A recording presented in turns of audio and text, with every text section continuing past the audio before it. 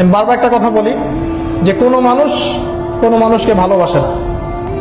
কোনো মানুষ কোনো মানুষকে সত্যিকার অর্থে ভালোবাসে না। শুধুমাত্র আপনার রব আল্লাহ আপনাকে ভালোবাসে। আপনি আজ হোক আর কাল হোক এটা বুঝতে পারবেন। আপনার গার্লফ্রেন্ড আপনাকে ভালোবাসে না। আপনার স্বার্থকে ভালোবাসে, আপনার অবস্থানকে ভালোবাসে। আপনার পরিবারের লোকজন আপনার অবস্থানকে ভালোবাসে। আপনি আজকে বড় একটা চাকরি পান, আপনার স্ট্যাটাস বেড়ে যাক, তারা আপনাকে তোলা তোলা করে বড় করবে।